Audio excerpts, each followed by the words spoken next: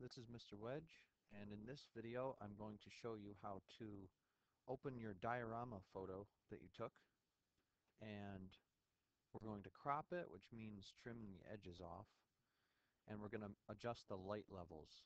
So we're going to make the shadows darker and the light areas lighter just so it looks good. And I'll show you a couple other things too. And then we're going to save it in a special way. So first thing we're going to do is open Photoshop. So we're going to go start all programs, scroll down to the folders. These are programs and these are folders. You want the folder that says Adobe Design and Web Premium CS6. So you click that. And then Adobe Photoshop. They're the ones on the bottom that are blue, and it doesn't matter which one. When Photoshop loads, um, if you've used it before, you remember the toolbars on the left if you have this thing right here, you can slide it around. If you click the arrows, it'll open it, but we're not going to use those. It's for a smart notebook, not Photoshop. So grab the dots, and you can just um, drag this whole thing so it's out of your way, and then close it with the arrows. So that's down out of the way now. So now that we're in Photoshop, we need to open our photo. So we're going to go File, Open, and then we're going to go over here to computer. Shared files. Double click it. Elementary classes. Double click it. Wedge. You got to find your class and open your classes. And now uh, these are all photos from our class but you have to find your photos that you took. So you have to remember what it looked like and you also have to pick your best one. You're going to pick your best photo to Photoshop it. But we can't see them at all. So there's a little trick. You're going to go right up here. This is the View menu. And you're going to go Large Icons. It's the second one down. And that way you can see them all. And you can scroll through. You can make this a little bigger so you can see more faster. And you've got to find you know, your photos and then figure out which one is your best one from the classes folder. And you can also go up here to the view menu to extra large icons and that, that'll let you see them even better. So the lighting on this one looks good, so that might be a good one. Some of them are blurry, some of them are really dark, so you might not want to use those. Just go through and find yours and pick your best one. So I'm scrolling, I'm looking for my photos. I don't see them yet.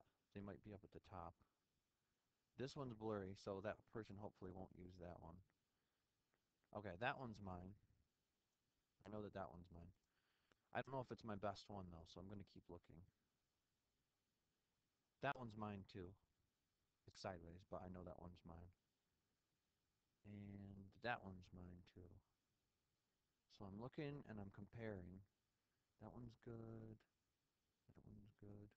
I think that one is better than this one.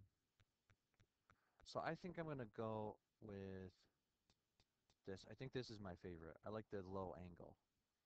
So I think this is my best photo. So I'm going to click this one, open it, and this is the photo that I'm going to Photoshop. All right.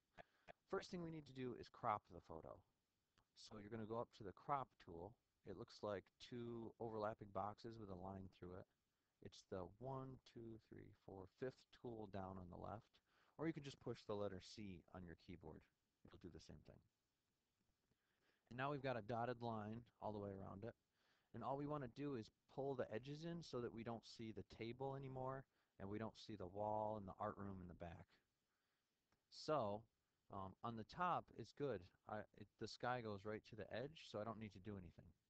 So I'm going to leave the top alone. This one, uh, you can see like the edge of the paper. We don't want that. So we're going to just grab this and lift it up so that we just don't see the edge anymore. So the top's done, the bottom's done. You can see the room in the back on the right side.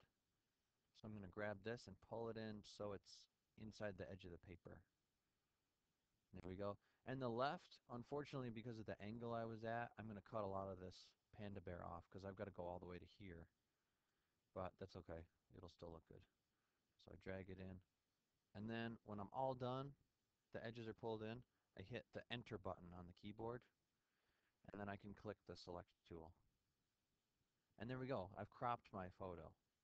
It looks pretty dark to me. So what I'm going to do now is go up to edit. I'm sorry, image. Okay, forget edit. Don't go to edit. Image, adjustments, levels. Or you can just push control L. They'll get the same thing. If I grab the blue, I can move it out of my way so I can see the picture. Do you see this mountain range? That's what you're going to use to figure out what your lights and darks are. Don't move the middle triangle, but the black triangle will adjust your shadows, and the white triangle will adjust your highlights. If you pull them in too far, it'll just look terrible.